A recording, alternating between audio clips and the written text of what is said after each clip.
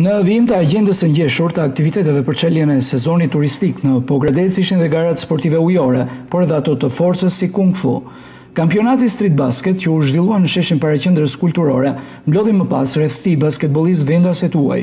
Bashkia Pogradec në bashkëpunim me Federatën e Basketbollit mbajnë firmën e këtij bashkëpunimi sportiv. Klevis Cane u shpreh që në këtë ditë të rëndësishme Street Basket do të japë edhe më shumë ngjyra aktiviteteve të organizuara.